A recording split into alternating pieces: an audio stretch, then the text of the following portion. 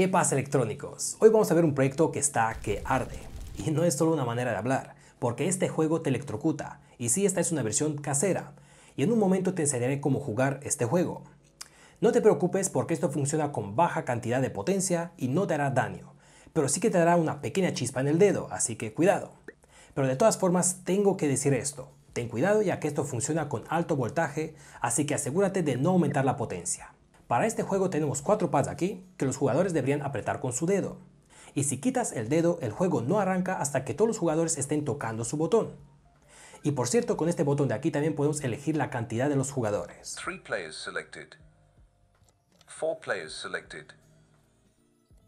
Y luego con el mismo botón del medio, si apretamos largo, empezamos el juego. Y también reproducimos un sonido de suspense. Y usando un temporizador aleatoriamente seleccionamos uno de los jugadores para que pierda y le aplicamos un pulso de alto voltaje. Te da la chispa, entonces pierdes el juego. Así es básicamente cómo funciona esto. Y por cierto puedes seleccionar de 2 a 4 jugadores. Muy bien, antes de empezar, considera darme un me gusta o dejar un comentario debajo, porque solo tardas un segundo, pero si no, mi canal se quedaría siempre con esta baja cantidad de visitas. De todas formas, déjame enseñarte cómo funciona esto y cómo hacer uno, así que vamos a empezar.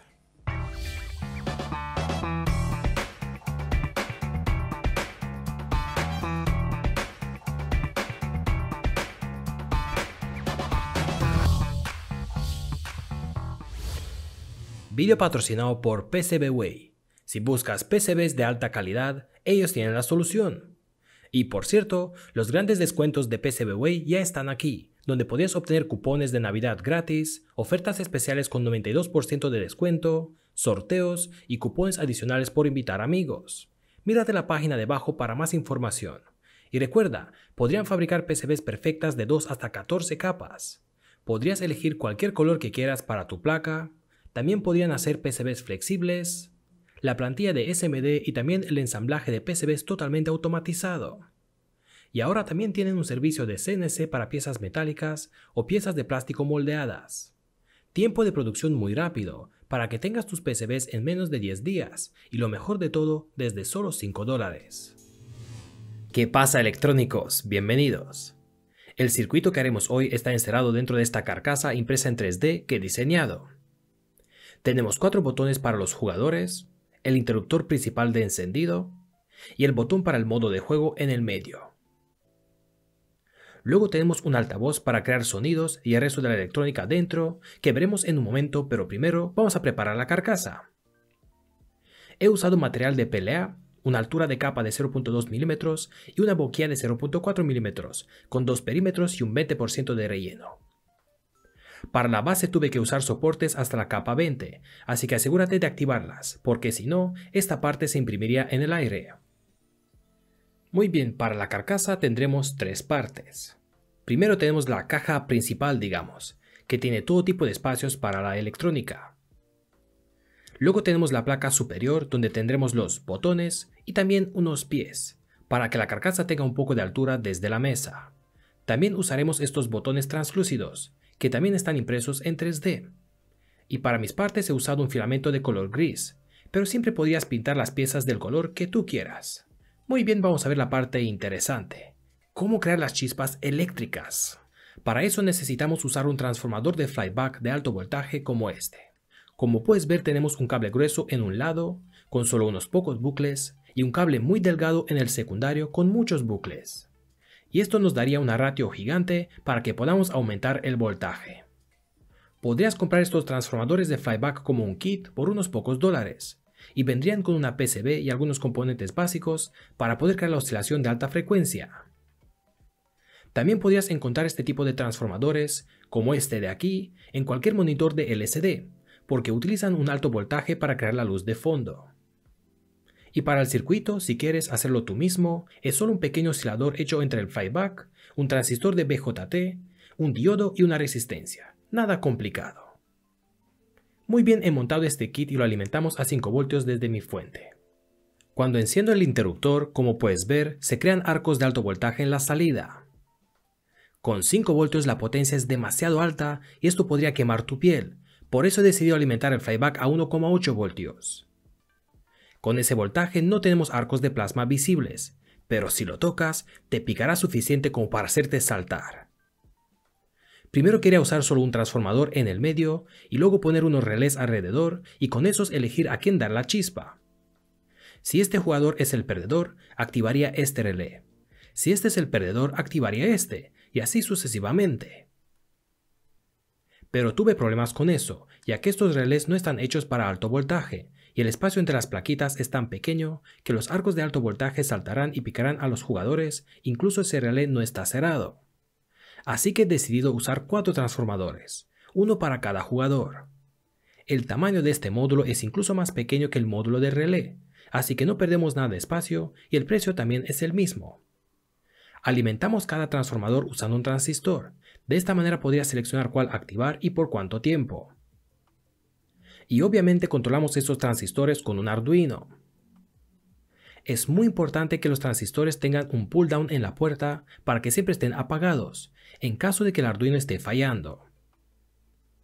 Junto con los transformadores y el Arduino, también necesitamos un DF player y un altavoz.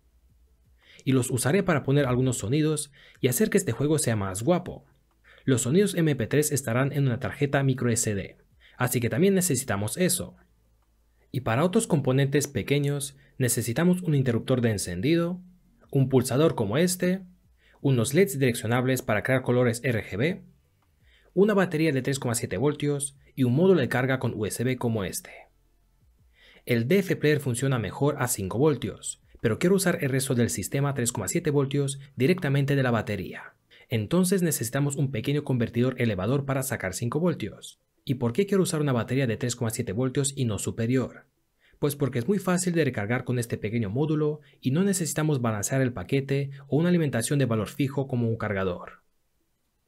Por cierto, también necesitamos un convertidor reductor como este, y podrías comprar uno como este desde mi tienda si quieres usar el mismo.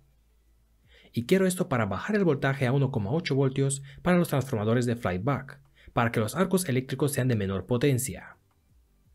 Todo lo que tienes que hacer con esto es soldar una conexión de 1,8 voltios en la parte trasera y ahora la salida estaría fijada en 1,8 voltios. Junto con todo esto necesitamos los transistores, algunas resistencias y condensadores, algunos tornillos y tal vez algunos componentes o herramientas pequeñas. Esto es prácticamente todo lo que necesitamos para hacer este proyecto, así que ves debajo en la descripción y descarga el esquema y tenlo frente a ti. El primer paso es soldar todos los módulos de alto voltaje. Eso es muy fácil ya que solo tenemos cuatro componentes. Añadimos el diodo, la resistencia y este transistor BJT junto con el disipador de calor.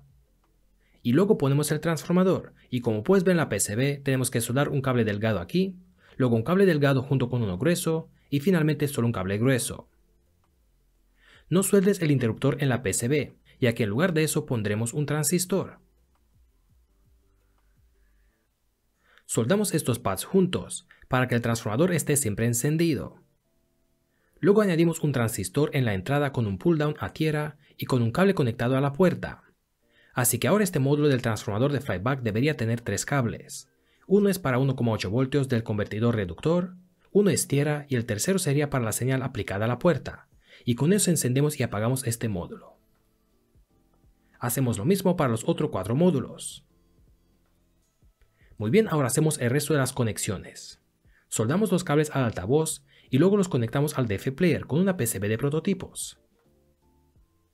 También añadimos cables para 5 voltios, tierra y las conexiones de TX y RX. Y ya podríamos pegar el altavoz en la parte inferior de la carcasa principal. Asegúrate de tener la tarjeta SD y descargar los archivos de MP3 de la descripción. Luego copia esta carpeta de MP3 en esta tarjeta SD vacía y ahora metemos la tarjeta en el DF Player. Bien, ahora piamos esta batería y la soldamos al módulo cargador y de protección. Este módulo va a cortar la alimentación cuando la batería está baja y también la puede cargar. Desoldamos estos LEDs de carga de la PCB y en lugar de estos soldamos unos LEDs grandes con cables como estos. Pegamos el módulo del cargador aquí dentro de la caja, donde he preparado un lugar justo enfrente a este agujero. Usamos este agujero para conectar el cable USB. Añado también esos dos LEDs dentro de los orificios para que podamos ver si la batería está cargando.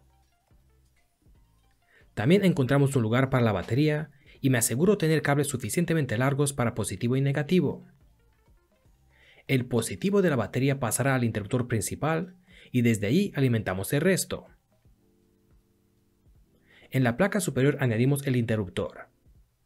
Soldamos el cable positivo de la batería aquí y otro cable rojo que irá al circuito. También ponemos un cable de tierra extra que se usa para el LED integrado que tiene este interruptor. Y así podemos saber cuando el interruptor está encendido. Soldamos el convertidor elevador a los cables de alimentación. Conecto el multímetro en la salida y me aseguro de que la salida sea de unos 5 voltios. A los mismos cables del interruptor soldamos el convertidor reductor. Pero primero asegúrate de soldar la conexión de 1,8 voltios en la parte trasera. Y esto alimentaría los transformadores. En esta placa superior también añado el pulsador para iniciar el juego. Luego añadimos estas piezas impresas en 3D translúcidas en estos cuatro agujeros. Corté cuatro LEDs direccionables de la tira de WS1228 y pegamos esos LEDs junto enfrente del orificio en la parte inferior. De esta forma la luz se vería dentro de las piezas impresas translúcidas. Soldamos cables al botón y a los LEDs y los preparo para las conexiones finales.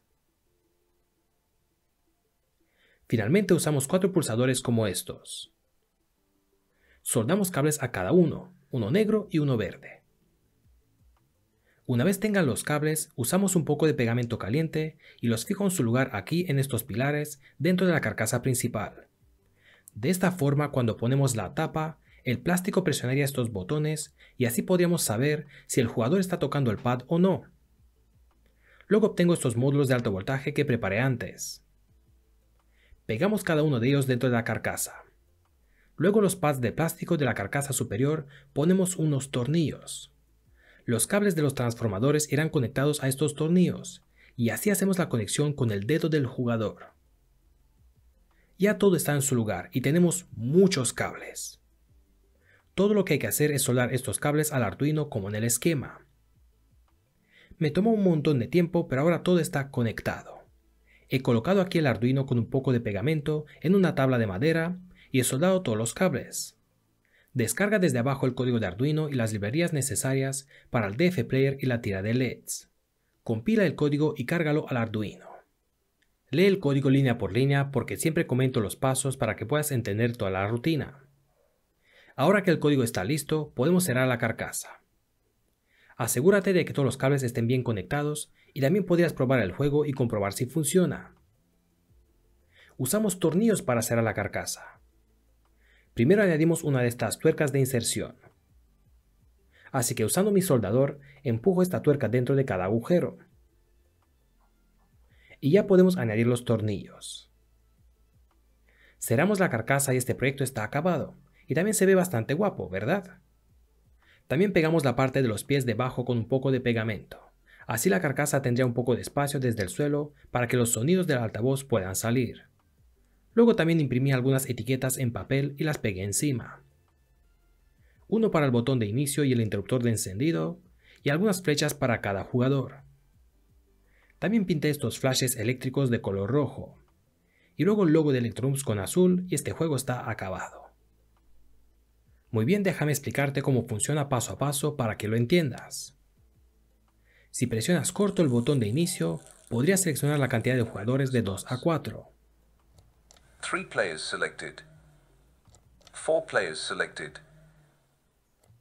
Seleccionamos dos jugadores para este primer ejemplo. Ahora si mantienes presionado el botón durante unos segundos, empieza el juego. Pero si no todos los jugadores presionan el botón, el juego seguirá en modo de espera, y los LEDs parpadean y podemos escuchar un sonido místico.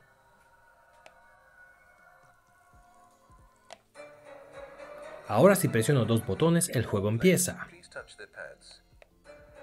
Como puedes ver, podría ser cualquier par de botones. El juego detecta automáticamente dónde irá cada jugador.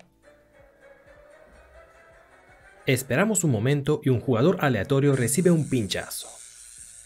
En el código he usado un temporizador aleatorio para que la víctima sea seleccionada al azar. Cuando se acaba el tiempo, te golpea con un pulso corto, y eso es todo. El pulso eléctrico se hace entre estos dos tornillos metálicos que tocan tu dedo. Aquí he cambiado el modo a cuatro jugadores.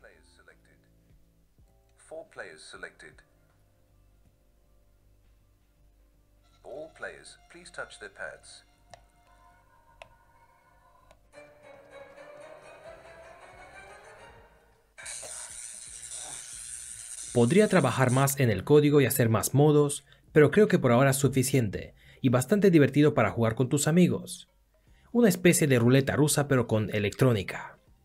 Así que bien, espero que os guste este vídeo y si es así, considera darme un me gusta o un comentario debajo para ayudar mi canal, porque sinceramente últimamente no le va muy bien. Tienes la lista de piezas, los archivos 3D y el código debajo en la descripción para descargar si quieres hacer el mismo proyecto. Gracias de nuevo y hasta luego electrónicos. Bien electrónicos, ¿os gustó este vídeo? Espero que sí.